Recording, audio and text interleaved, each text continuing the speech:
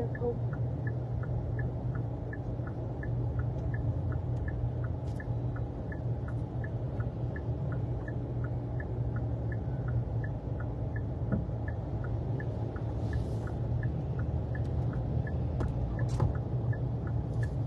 Hello cả nhà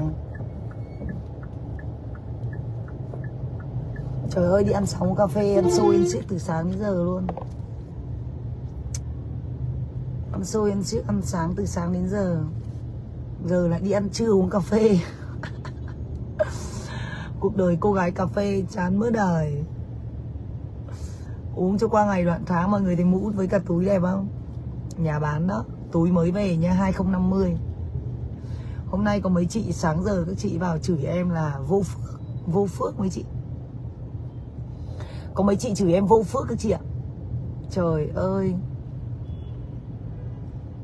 Em không biết như thế nào là có phước luôn mấy chị. Mấy chị mà chửi em là gì? À, Con này vô phước. Con này vô phước còn chút phước cuối cùng. Còn chút phước cuối cùng. Là có thằng chồng nó vẫn yêu thương. Chào Loan Vũ ạ.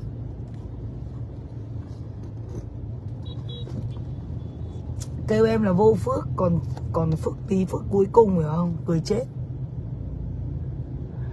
này đánh cây son Mamode số 23 này. Đi ra đường một cái mê bê cây son hết thì ra đường chán mỡ đời luôn. Đúng rồi tâm linh đá gì? Chị ơi chị đang đâu đấy? Ra công viên uh, chỗ mình với chị Trịnh Kim Chi hay ngồi uống cà phê này. Em vừa mới xong này chị. Anh Long mới mới uh, nia cái răng xong. Chị đâu rồi? Ra đây uống cà phê với em anh Long nào? Dân nhẹ ngòm nhóm dung nhan. Cái túi chị đang đeo mới về hai triệu chục chiếc nha em.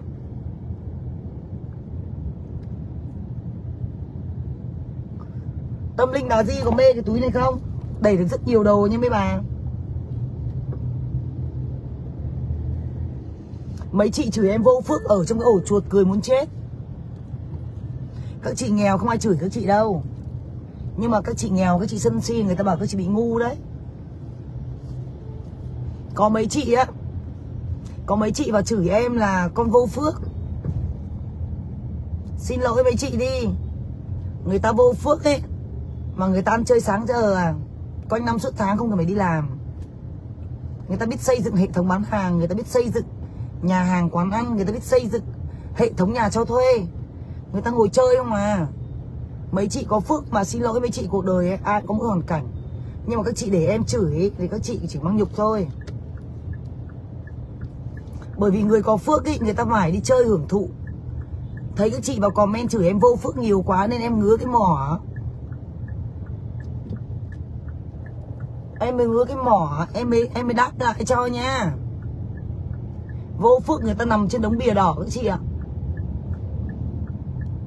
Người ta không không phải đếm cái tiền tiêu vặt.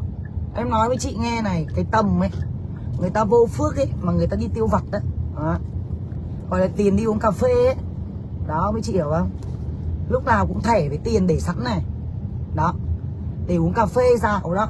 Người ta vô phước cỡ đó thôi. Còn mấy chị có phước ý, thử hỏi các chị một năm, một tháng, các chị để được ra bao nhiêu tiền? Để gửi về cho cha, cho mẹ các chị. Gớm các chị có phước quá. Có chị kia tối hôm qua và chửi em vô phước.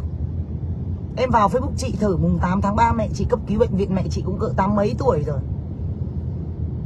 Mẹ cấp cứu bệnh viện mà không lo kiếm thêm tiền, bán thêm mấy hộp mất đi. Để mà gì? Để mà kiếm tiền ờ, bật cho mẹ cái điều hòa.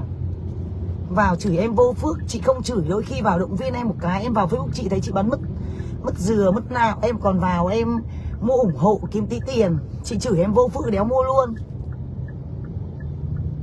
Em nói với chị là em cũng như chị thôi, cũng đi mua hàng trên mạng nhiều lắm nhiều khi thấy mấy người mà người ta kiểu hoàn cảnh người ta này kia, người ta buôn bán có khi mình chưa chưa cần biết ăn hay mặc không, nhưng vào mua ủng hộ một món trăm rưỡi, hai trăm, ba trăm cho nó vui. Có chị kia đó, mẹ nằm cấp cứu bệnh viện há mồm thở không nổi luôn. Bà mẹ gầy gò ốm yếu vào chửi mình vô phước. Mẹ em mà có ốm có đau ấy, ha, Mẹ em nằm một phòng riêng điều hòa các chị. Chứ như các chị Các chị có phước quá để mẹ các chị sống khổ sở quá. Ở đây không nói chữ nghèo hay giàu mà nói đến câu chuyện ấy là bớt nhiều chuyện lại.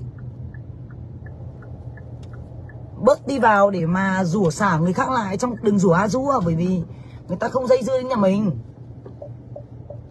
Để đến khi người ta chửi cho thì bảo vì sao đen? Trả tiền luôn hả anh? Bao tiền. Anh gửi ạ. Em cảm ơn. Dạ vâng em cảm ơn. Ô có hai quán này anh? Ờ mới giác ngộ thêm con nữa.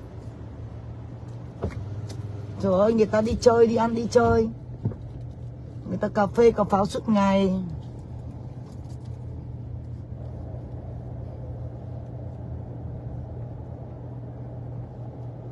Em là thật thì quanh năm suốt tháng đi ăn, đi chơi không à?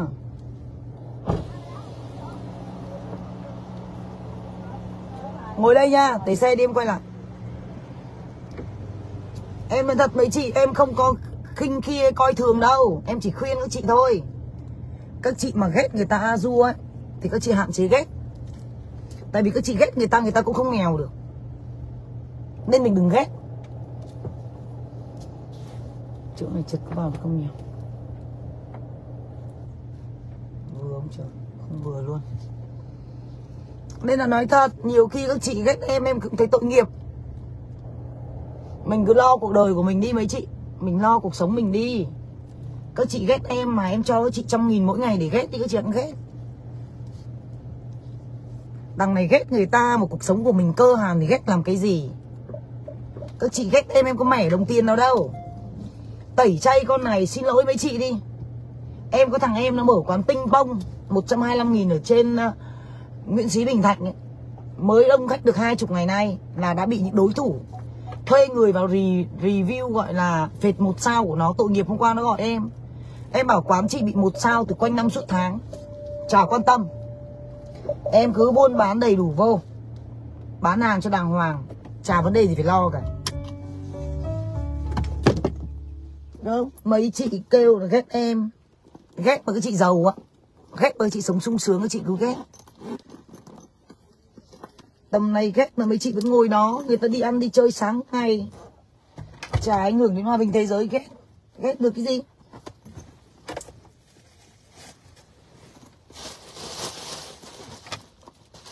Cái gì nó cũng có cái giá của nó, mấy chị hiểu không? Nên là mấy chị mà ghét người ta thì mấy chị phải nhớ này. Mình ghét người ta mình ra tiền mình không ghét. Mình chửi người ta mà mình ra tiền mình không chửi còn chửi người ta để cho đã cái màu mình vì cuộc sống của mình nhiều áp lực mà mình không chửi được ai ấy, thì đừng nên chửi. Các chị kêu em mặt trơ chắn bóng chửi ấy. Làm gì em? Chửi em có nghèo không? Chửi em em có nghèo không? Chửi em có mẻ đồng tiền nào không? Tiền thuê nhà đây là ngày mai ngày kia là tiền thuê nhà của bao nhiêu căn là cứ đẩy vào vào để vào túi đi chơi thôi. Chửi người ta nhưng mà người ta vẫn sống bình thường bảo bực không hơi bực xíu. Nhưng bực xong thấy thương hại. Đấy, từ sáng giờ đây hết cà phê quận 7 đến cà phê đồng khởi quận 1 đưa bà chị gái đi làm răng, xong giờ lại cà phê ăn trưa. Đến 3 giờ, ba rưỡi lại đi đón con. 5 giờ lại ngồi, chờ con học lại uống cà phê ăn chiều. Tối lại đi cà phê ăn uống. Đấy, ghét người ta mà người ta vậy đó mới bà. Người ta ngồi yên, ha. Người ta ngồi yên mà người ta có hệ thống nhân viên làm việc nhà cửa cho thuê auto có tiền. Mấy bà đang làm cái gì?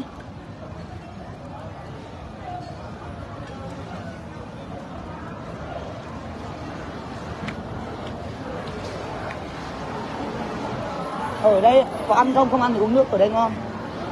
Uống cà phê đây ngon. Nước dừa. Tay sôi của bà đang.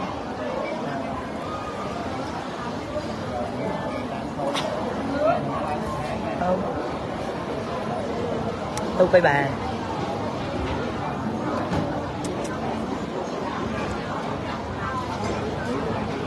Đâu?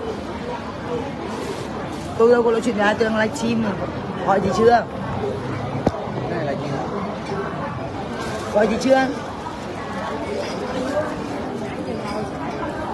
Quán này đang đông giờ cao điểm. Đây kia đâu cho ngồi? Sao? Đây nó gần gần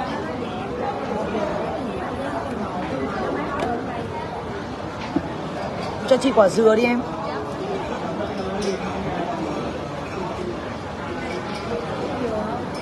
Uống dừa chứ má.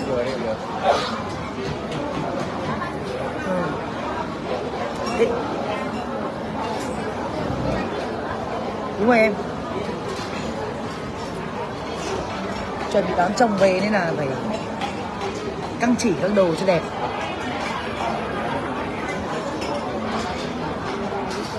Chai nào?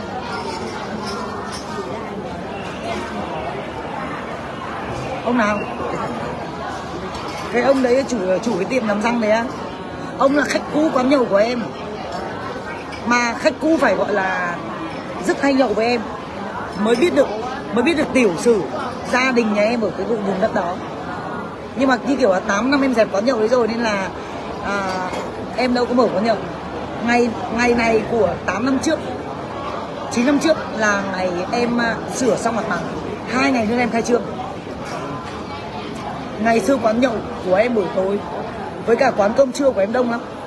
Lúc trước quán cơm trưa của em một buổi trưa, ba tầng lầu full hết. Nấu ngon, nấu như nhà tuấn tú ấy. Nhưng mà em làm bình dân với em. Canh của nhà em là anh đến. Em mới, em nấu một nồi cua trước. Xong anh đến em mới sắp miếng cua, miếng nước canh. Em đun lên, em cho rau, cho mướp vô dưa cà là tự muối, thịt đông tự kho, thịt quay tự làm. Đậu, nói chung là em em bán cơm nhưng mà em bán đồ ăn nhà em ngon lắm, mà sẽ cơm cơm bắc nhà em ngon lắm. Người ta văn phòng cái khu mà những công chứ đấy là toàn ngân hàng. Họ đi 15 20 người một bàn, đông như con nguyên.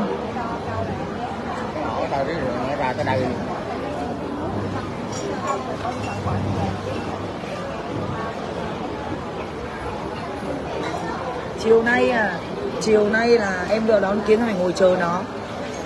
Nên giờ đó bác nằm ở khách sạn bác nghỉ thi xong là tầm à, 7 rưỡi là em về đến khách sạn bác. 8 giờ cơ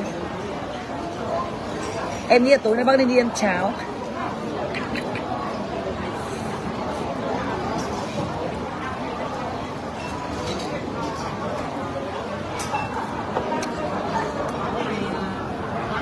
chị hai chưa đi Canada đó là hai hai người mẹ với hai đứa con dưỡng ra đây sáng nào cũng thuê không kiến nó thích ra đây lắm. Bởi thứ nhất là có khu vui chơi này.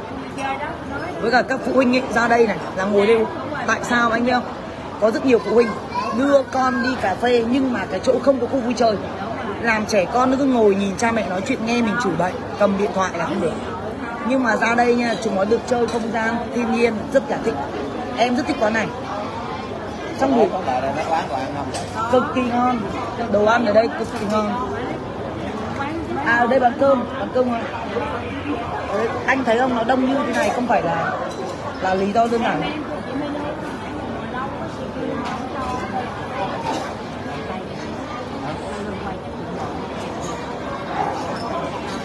Đứng đây cài đó, nãy giờ đâu thấy ai đưa menu nãy đâu. rồi đó không cái quán này nó đông quá giờ này giờ này giờ quá tải tất cả các quán buổi trưa rồi. Rồi tại vì thứ nhất là cái quán này này nó có chỗ đậu xe hơi cho khu vui chơi trẻ trẻ. Và cái thứ hai là hút thuốc lá là các anh hút anh ngồi ngoài ờ, đó. Nên là cái quán này nó là cái tối ưu. Khách tây họ cũng thích đây lắm họ đi vào với độc lập này.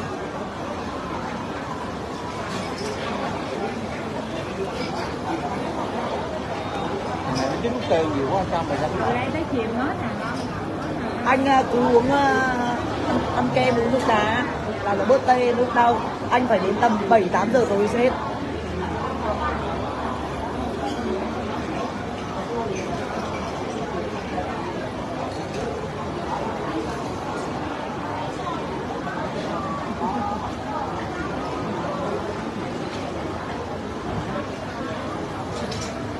Quán này ăn cơm ăn cơm đơn giản là canh cua cà pháo.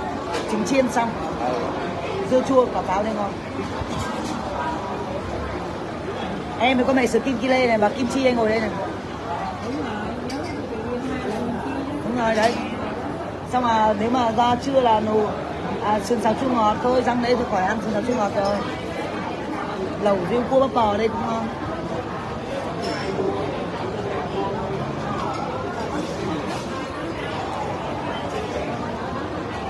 Đấy vừa nhắc bà Vân Anh ngồi bên kia kìa có chi không biết?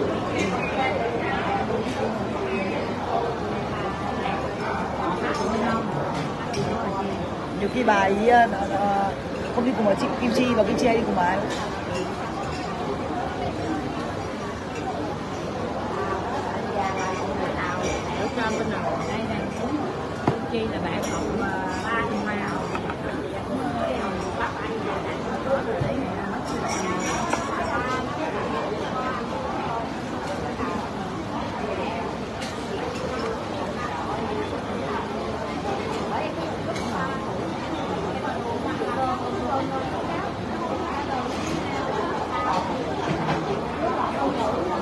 Sáng nay ra nhìn hình đứa trẻ này dễ thương dã man. Đứa này chắc cơ 3 tháng. Ờ dễ thương quá à mà nó rơi được cái ngón tay này mới hay á nó rơi ngón tay nha vấn đề là cầm tầm 3 tháng. Đâu biết trên mạng còn bà nữa. Hồi chút qua bút ở đâu vậy? có quốc cái đâu anh thằng bên đó bên đi xe ví dụ bên đó lát nữa bên đó. Tư cái hay chỉ bên đó, thì bên qua rồi đó bên về nhà. Qua